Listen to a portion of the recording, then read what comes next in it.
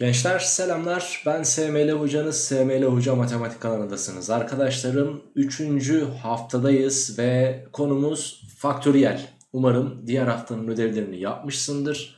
Bu haftaki konuları işledikten sonra da temelini attıktan sonra konuyu kavradıktan sonra yine bir ödevlendirme yapacağım. Bu ödevler yine senin ödevleri yine senin bu konuları pekiştirebilmen adına verilmiş ödevler olup sevgili gençler yapman çok ama çok önemli. Yani ödevlerini tamamlamalısın. Kısaca ben sana bunu söyleyeyim. Şimdi konumuza başlayacağız sevgili gençler. Faktöriyel dediğimiz bir kavram var. Aslında bakarsanız çok da zor bir olay değil. Neymiş bu faktöriyel peki? Şimdi diyoruz ki pozitif ilk en tam sayının çarpımı. Yani pozitif olacak bak o önemli. 1 çarpı 2, 3, 4, 5, 6, 7, 8 nereye kadar? N'ye kadar gidiyorsa işte bu birden n'ye kadar olan sayıların biz çarpımına sevgili gençler n faktöriyel diyoruz. Peki 1 faktöriyel kaçtır? E, birden 1'e kadar olan sayıların çarpımı yani 1 tek başına 1 o zaman 1'dir. Birden 2'ye kadar olan sayıların çarpımı 2'dir. Birden 3'e kadar olanlar 1 çarpı 2 çarpı 3 yani kaçtır arkadaşım? 6'dır. 4 faktöriyel 1'den 4'e kadar 24'tür. 5 faktöriyel 120'dir.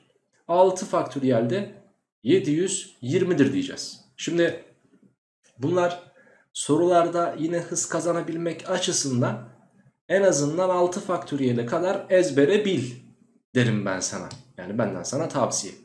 Özel olarak arkadaşlarım 0 faktöriyel 1'dir. Neden özel olarak diyoruz? Çünkü yukarıda dedik ki pozitif ilk en tam sayının çarpımı dedik ama burada 0 faktöriyel 0 pozitif değil. O yüzden özel olarak 0 faktöriyeli de 1 olarak kabul ediyoruz. Aklında bulunsun. Arkadaşım n faktöriyel dediğimiz sayıyı ben n çarpı n eksi 1 çarpı n eksi 2 çarpı nokta nokta nokta 3 çarpı 2 çarpı 1 diye açabilirim. Ayrıyeten yine bu n faktöriyel sayısını ben şurayı görüyorsunuz. n eksi 1, n eksi 2, n eksi 3 birer birer azala azala zaten 1'e kadar gitmiş. E madem öyle ben şu kısma bakınız şu kısma n eksi 1 faktöriyel diyemez miyim o halde? Sonuç olarak o da birden n eksi 1'e kadar giden sayıların çarpımı olan sayıların çarpımı. O zaman burası da n eksi 1 faktöriyeldir. E madem öyle şimdi elimizde ne oluştu? Bir n bir de çarpı n eksi 1 faktöriyel. Yani ben bu n faktöriyeli n çarpı n eksi 1 faktöriyel biçiminde de yazabilirim. Bunda bir sıkıntımız yok. Pekala. O halde 7 faktöriyel dediğim sayıyı ben 7 çarpı 6 faktöriyel biçiminde yazabilirim. Sonuçta 6 faktöriyel demek 1'den 6'ya kadar olan sayıların çarpımı demek. E bir de üst sonuna 7 eklemişiz. Veya 7 çarpı 6 çarpı 5 faktöriyel biçiminde de yazabilirim. Hatta 7 çarpı 6 çarpı 5 çarpı 4 faktöriyel biçiminde de biraz daha abartıp 7 çarpı 6 çarpı işine yaramaz ama 5 çarpı 4 çarpı 3 faktöriyel hatta 3'ü de 3 çarpı 2 faktöriyel diye de yazabilirsin. Gelin örneğimize bakalım. 11 faktöriyel bölü 8 faktöriyel çarpı 3 faktöriyel bu işlemin sonucu nedir diye sorulmuş. Öncelikle sen bu yukarıdaki 11 faktöriyeli 11, 10, 9 çarpı 8 faktöriyel biçiminde yazabilirsin. Daha sonrasında bölü alt kısımda da 8 faktöriyel çarpı 3 faktöriyel diye bir çarpım var. Buradaki 8 faktöriyellerin gittiğini görebilirsin. Hepsi çarpım durumunda zaten. Peki Üst tarafa bakalım. 11 çarpı 10 çarpı 9 bölü 3 faktöriyel nedir arkadaşlar? 3 çarpı 2 çarpı 1'dir. Peki buradaki 3 ile buradaki 9'u sadeleştirdim 3 kaldı. Buradaki 2 ile buradaki 10'u sadeleştirdim burada da 5 kaldı. Bu 1 zaten hiçbir hükmü yok. Alt aşağı tarafta 1 kaldı yani. 3 kere 5 15 15 kere 11 de sevgili arkadaşlarım 165 yapar. Cevabımız da budur diyebiliriz. 2022 faktöriyelden 2021 faktöriyeli çıkarıp bunu 2020 faktöriyele böl. Bu işlemin sonucunu bana söyle demiş. Şimdi öncelikle üst tarafa bakacak olursanız üst tarafın en küçüğü nedir? 2021.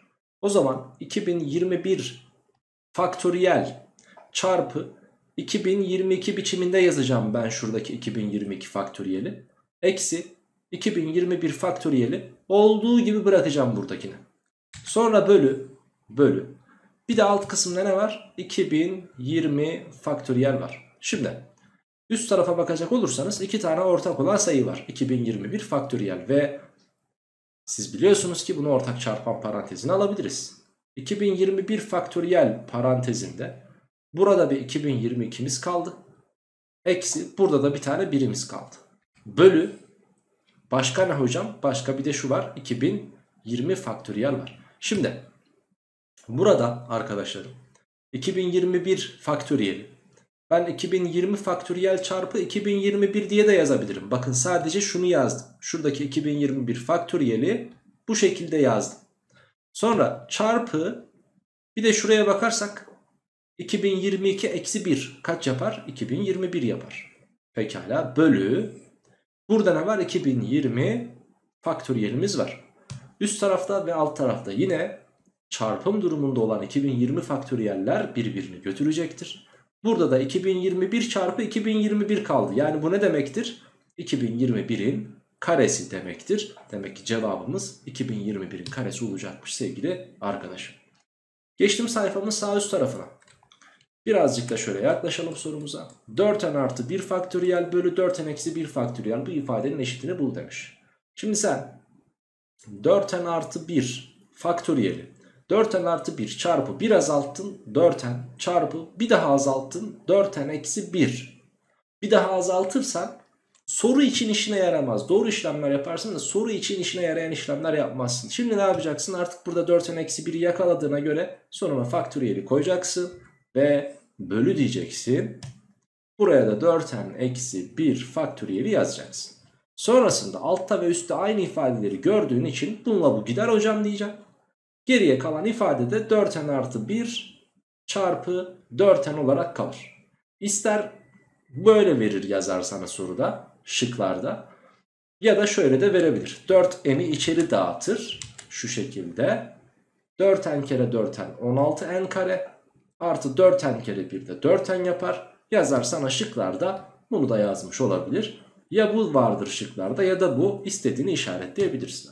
Tamam. Geçtim. 42 faktöriyel artı 43 faktöriyel sayısı 42 faktöriyel sayısının kaç katıdır demiş. Şimdi ben şurasıyla biraz ilgileneceğim. Yani 42 faktöriyel artı 43 faktöriyelle biraz ilgileneceğim. 42 faktöriyel artı 43 faktöriyeli bak. 43 çarpı 42 faktöriyel biçiminde yazabilirim. Sonra da 42 faktöriyel parantezine alırım ben ifademi. Şurada 42 faktöriyeli çalarsam burada onun yerinde 1 kalır. Artı sonra da şuraya bakacak olursanız 42 faktöriyeli ben buradan alırsam 43 kalacaktır burada da. Şimdi bu nedir? 42 faktöriyel çarpı 43 bir daha kaç yapar? 44 yapar. Şimdi bize sorulan şuydu. Şu sayı şu sayı ya da bu sayı ya da en son bu sayı. Yani 44 tane 42 faktöriyel sayısı 42 faktöriyel sayısının kaç katıdır diye sorulmuş. Değil Zaten cevap elimizde kaldı 44. Ya da kaç katıdır diye sorduğuna göre 44 çarpı 42 faktöriyeli sen 42 faktöriyele bölersin. Cart cart gider elinde kalan sayı 44 çarpı 42 faktöriyelin 42, 42 faktöriyelinin kaç katı olduğunu e, verecektir diyebiliriz. Devam. Bir sonraki örnek.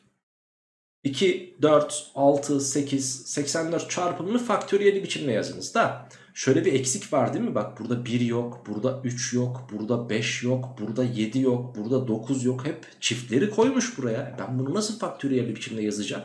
Bak güzel kardeşim. Ben 2'nin 2 çarpı 1 olduğunu biliyorum. Çarpı. Şuradaki 6'nın 2 kere 3 olduğunu pardon 4'ün 2 kere 2 olduğunu 6'nın 2 kere 3 olduğunu 8'in 2 kere 4 olduğunu çarp nokta nokta nokta çarp 84'ün ise 2 kere 42 olduğunu biliyorum.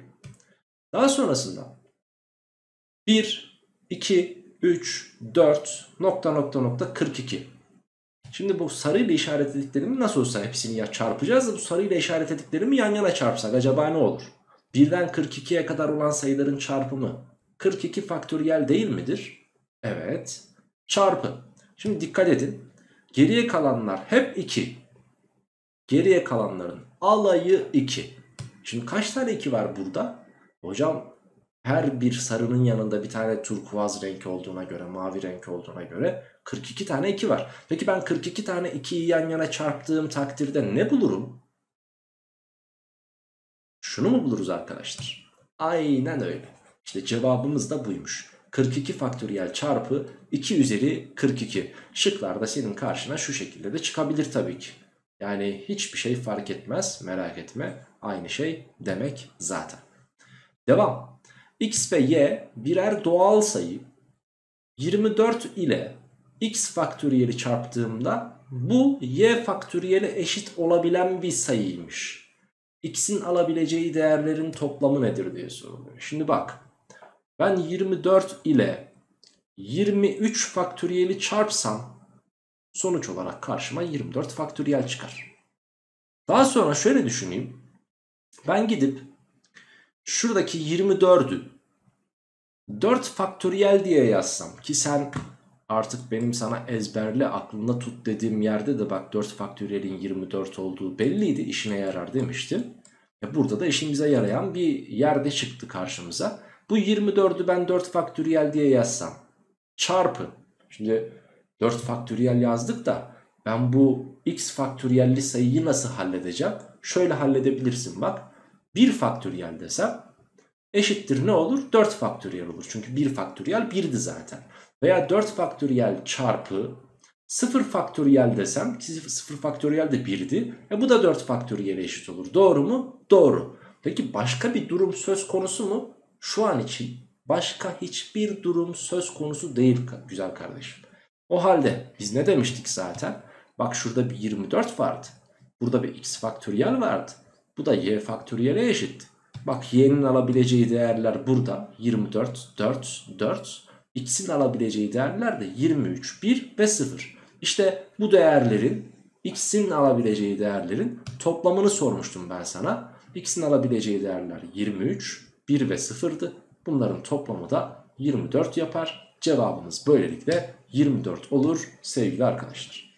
Evet sen de benle beraber sayfayı doldurduysan aynı bu şekilde dolu bir e, sayfa varsa karşında renkli kalemler de kullanarak yazıyorsan çok güzel olacaktır eminim. Ne hala sana ne mutlu sana. O halde ikinci sayfamıza geçebiliriz. Sayfa 35'teyiz arkadaşlar ve bir örnek karşılıyor bizi. Bakalım örneğimize. Şimdi diyor ki bana 0 faktöriyel, 1 faktöriyel, 2 faktöriyel, 3, 4, 5, 6, 7, 8 faktöriyel nokta nokta nokta gitmiş 22, 2022 faktöriyele kadar topla demiş bize. İnanın şu işlemi yapmaya ömrünüz yetmez. Peki bu toplamın birler basamandaki rakam kaçtır diye soruluyor bize. Şimdi gelin sizle beraber yukarı bir çıkalım arkadaşlar. Şöyle ilk konu anlattığımız yere bir çıkalım. Daha sonrasında diyelim ki 7 faktöriyeli hesaplasaydık acaba ben biliyorum cevabını 5, 5040 gelir. 8 faktöriyeli hesapladığımızda da yine buradaki gibi sonu sıfırlı bir sayı gelir mi acaba? Valla neden olmasın? Neden? Çünkü ben sonu sıfırlı olan bir sayıyla hangi doğal sayıyı çarparsam çarpayım sonu yine sıfırlı olan bir sayı çıkacaktır. Mutlaka deneyebilirsin. Çünkü bunun içinde 10 çarpanı var.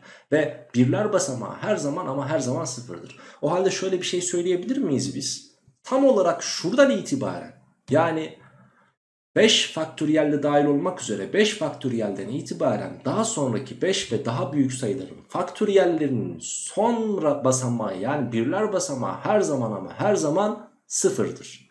Diğerleri, diğerlerini zaten ezbere biliyorduk. Ezbere bilmesek bile kolayca hesaplanabilir.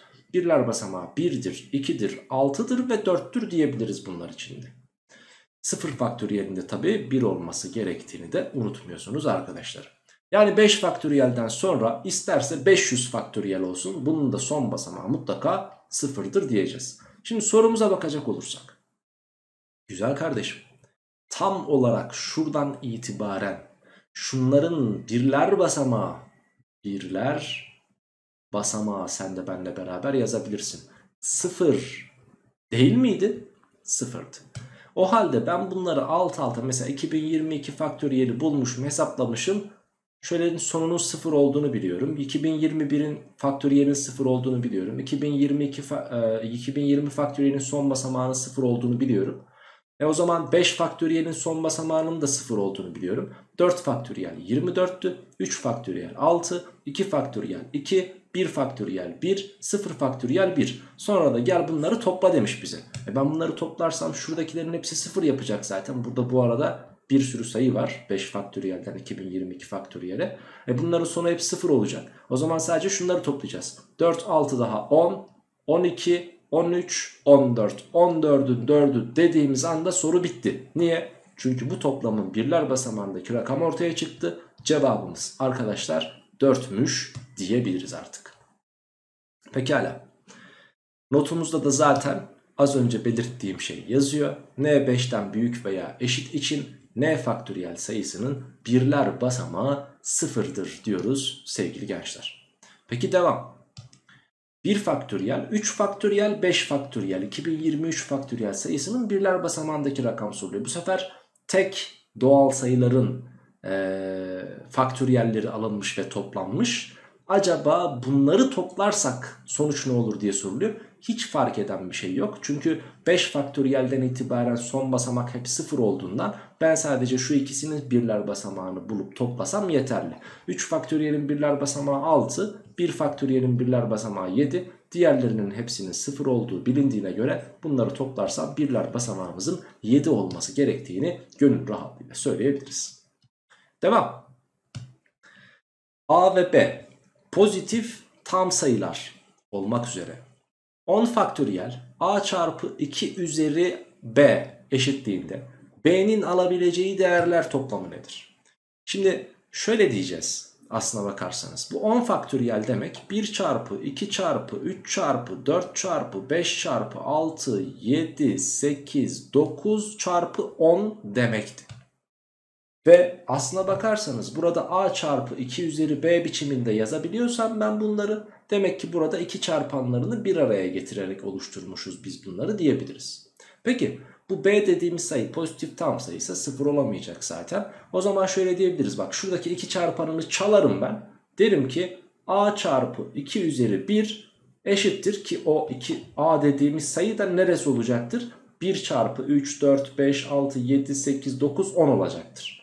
Sarı ile işaretlediklerimin çarpımı bize a'yı verir. Şuradaki iki çarpanını alıp onu da 2 üzeri b'yi oluşturmak için yazdım. Veya şöyle de diyebiliriz. Şu 4 var ya 4 işte o 2 üzeri 2'dir zaten. O zaman 1 çarpı 2 çarpı 3 çarpı 5 6 7 8 9 10'u alırım. Buna a derim. Ve çarpı 2 üzeri 2 derim. Şuradaki 4'ü buraya monte ederim. Ve böylelikle b'nin alabileceği değerler ortaya çıkar. Ama ve lakin. Ulan bu 10 faktöriyel değil de 32 faktöriyel olsaydı tek tek sayacak mıydık böyle? Böyle soru mu olur? Böyle soru olur da öyle çözüm olmaz. Peki ne yapmamız lazım? Bak şimdi mantalite bu zaten. Bu olayı anladın. Yani bu 2 üzeri b'deki b'nin alabileceği değerler mesela 1 olabiliyor, 2 olabiliyor, 3 de olur mesela 8'i çalarsın 2 üzeri 3 olur. 8'in yanına bir 2 koyarsın 16 2 üzeri 4 olur. Tek tek denemek lazım aslında. Ama ben diyorum ki 10 faktöriyelin içindeki iki çarpanlarının sayısını ben bulurum. Nasıl bulacaksınız? Şöyle. Arkadaşım onu yazıyorsun. Bildiğin bakkal bölmesi çizgilerini çekiyorsun. Ve bu 10'u 2'ye bölüyorsun. Bu kadar mı hocam? Bu kadar değil. 10, onun içerisinde 2, 5 defa. Bak bölmenin devamını yapmıyorsun. Burada oluşturduğun sayıyı tekrar 2'ye bölüyorsun. 5'in içinde 2 2 defa. 2'nin içinde 2 1 defa. Sonra da bölüm kısımları şunlar değil mi çıkan sonuçlar? Evet işte bunları topluyorsun. 5, 2, 1 daha kaç yapar? 8. Şimdi bu 8 nedir? Cevap 8 değil. 8 nedir? 10 faktöriyelin içerisindeki 2 çarpanları. Kaç tane 2 çarpanı olduğunu söylüyor bize bu 8.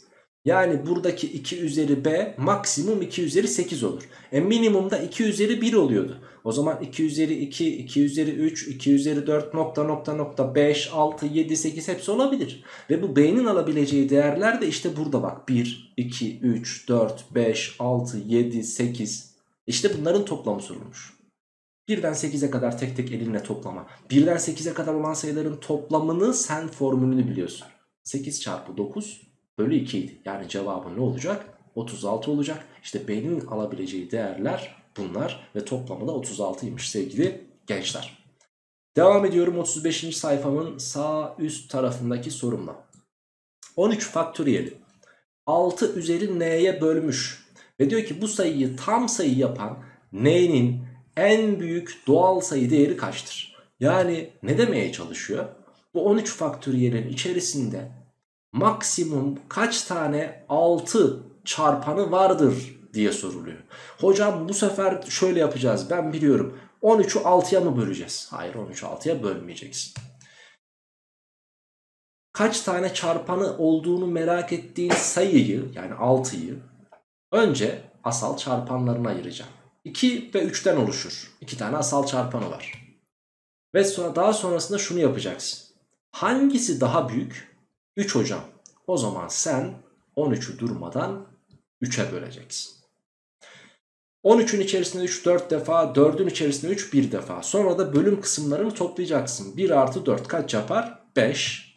İşte madem öyle cevabında 5'tir diyeceksin. Mesela 24 faktöriyel bölü bölü e, ne diyelim 24 faktöriyel bölü e, kaç yazalım? 2 kullandık. 3 ve 5'ten 15 diyelim. 15 üzeri x diyelim. Tamam. Şimdi 24 faktöriyelin içerisinde kaç tane 15 çarpanı var?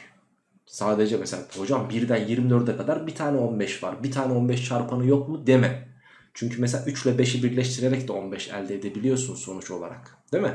Veya 6'nın içindeki 3'ü alıp 20 e, 20'nin içindeki 5'i alıp çarpınca 15 yapabiliyorsun sonuç olarak. Şimdi burada x'in maksimum değerini bulmak istiyorsan bu 15 dediğimiz sayıyı hemen asal çarpanları nedir? 3 ve 5.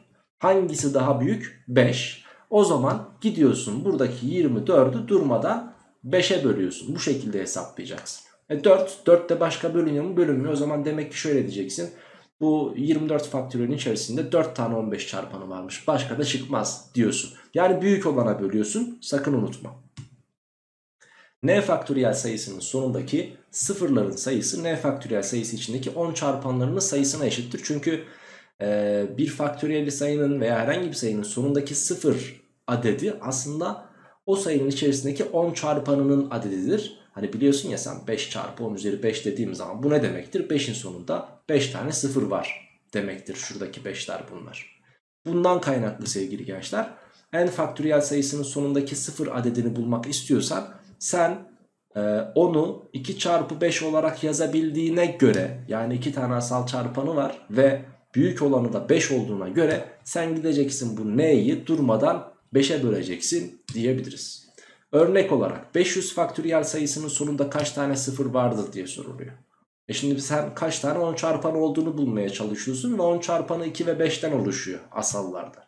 Büyük olanı da 5 olduğuna göre e sen durmadan 500'ü 5'e böleceksin. E böldüm 100 geldi. Bir daha böldüm 20 geldi. Bir daha böldüm 4 geldi. Sonra da artık 4 bölünmediğine göre 5'e 124. Cevabımız bu işte. 500 faktöriyel de baya büyük bir sayı olduğunu da aklın hayalin kestirebilir herhalde. Çünkü 500 faktöriyelden bahsediyoruz. Yani 7 faktöriyel bile 5040 öyle düşün. Ee, sen 7'den sonra 8, 9, 10, 11 işte 199, 200, 250, 260 hepsiyle çarpıyorsun 500'e kadar. Yine ömrümüz yetmeyebilir bunu çarpmak için. Bu sayının sondan 124 basamağı da 0 oluyor sevgili arkadaşlar. Evet bir diğer sorumuzda sevgili gençler e, soruda eksik olan notlarıma bakaraktan söylüyorum. Şurada bir 6 e, sayımız var. Onu yazmayı unutmuşuz. Kusura bakmayın. Sorumuza bakalım. Baya karışık da görünüyor. 2 faktöriyelin faktöriyelin faktöriyelin 6. kuvvetinin faktöriyeli eksi 1 sayısının sonunda kaç tane 9 rakamı vardır diye soruluyor. Şimdi bak. 1000 sayısının sonunda kaç tane sıfır var? 3 tane. Ben bundan 1 çıkarırsam 999 yapar. Sondan kaç basamağı? 9 ve 3 basamağı. E sen şimdi 2000 değil 20.000 sayısına bakalım. 1 çıkaralım. Kaç yapar? 19.999 yapar. E şimdi şunun sondan kaç basamağı 0? 4. Bunun sondan kaç basamağı 9? Gene 4. Demek ki şu kısmı boş veriyorsun. Şunun sonunda kaç tane 0 varsa bu sayının da sonunda o kadar 9 vardır diyebiliriz artık. Güzel.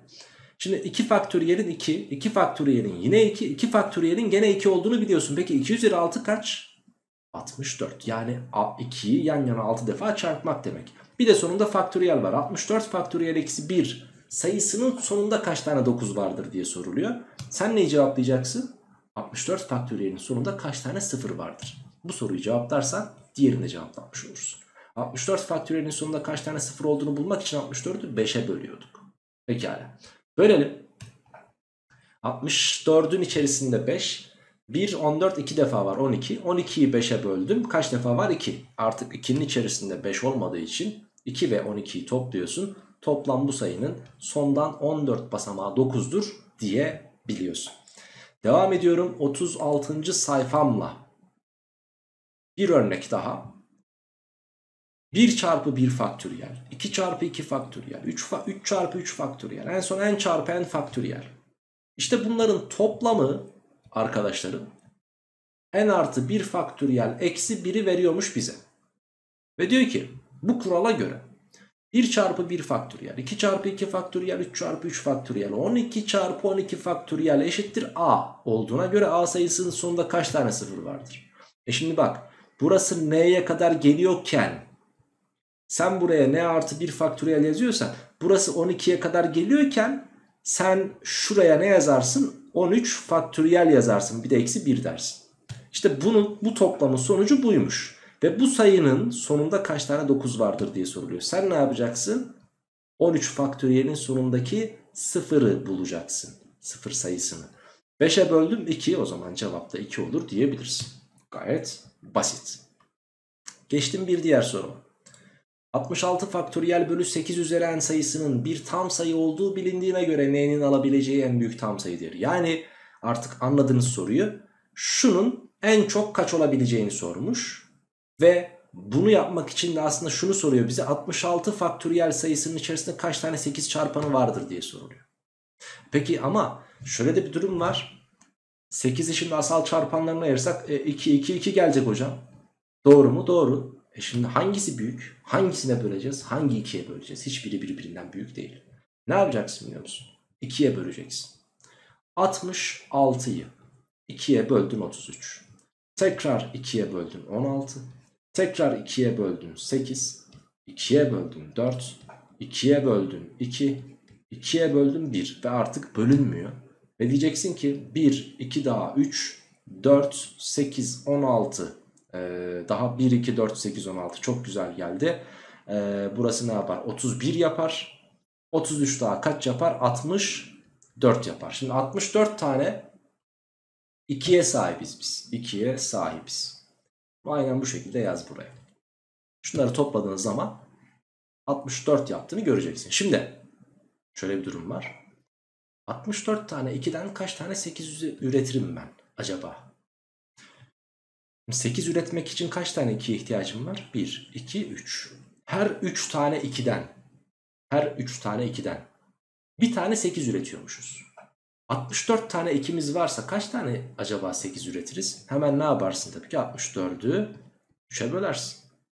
2 defa var 2 kere 3 6 çıkar 0 4 bir defa var 1 kere 3 3 çıkardım 1. Şimdi bu ne demek biliyor musun? 21 tane o üçerli üçerli iki grubu oluşturdum. Ve bunlar bana her biri 8 üretti. Bir tane de ikimiz açıkta kaldı. Yani 63 tam bölünüyor 3'e. Bir tane de 2 açıkta kaldı. E kalsın kardeşim bana 8'ler lazım. 2'ler lazım değil. O 2 açıkta. Yani şey gibi düşün. Mesela gittin 1 kilo un aldın. 1 kilogram. Eve geldin bir kek tarifi yapacaksın ama o kek tarifi için 900 gram un gerekli. E sen keki yaptıktan sonra o 100 gram unu da herhangi bir kavanoza koyup saklıyorsun. O artık bir işine yaramıyor yani o an için. O keki yapmak için bu kadar lazımdı çünkü. E 8 üretmek için de bunlar lazımdı. Bir tane 2 açıkta kaldı ne yapalım? Kaç tane 8 ürettik? 21 tane. O zaman buradaki n sayısı da maksimum kaç olur? Tabii ki 21 olur. Demek ki o n'nin en büyük tam sayı değeri de 21 olacaktı arkadaşlar. Geçtim sağ üst tarafa.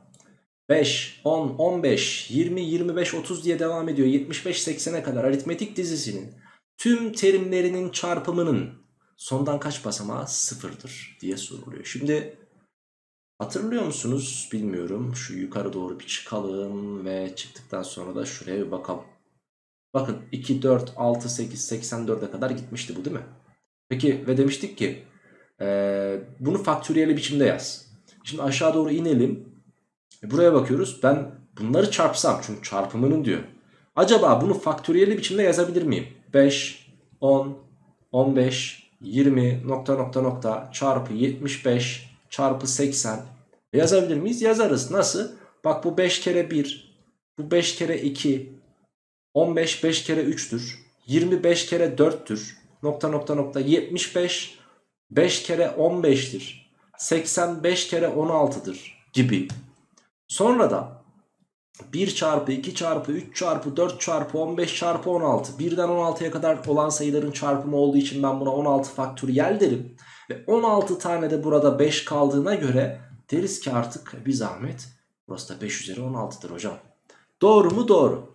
Şimdi zaten şunun içerisinde bunun içerisinde herhangi bir iki çarpanı da bulunmadığı için buradan bir sıfır gelmeyecek. Fakat aması var. Şöyle diyeceğiz. Bu 16 faktöriyelin sonundan kaç basamağı sıfır acaba? Hocam 16 faktöriyelin sonundan kaç basamağı sıfır olduğunu için bulmak için 16'yı 16'nın içinde kaç tane 5 çarpanı var bunu bulmamız lazım. 16'yı ben 5'e böldüm 3 tane 5 çarpanı var.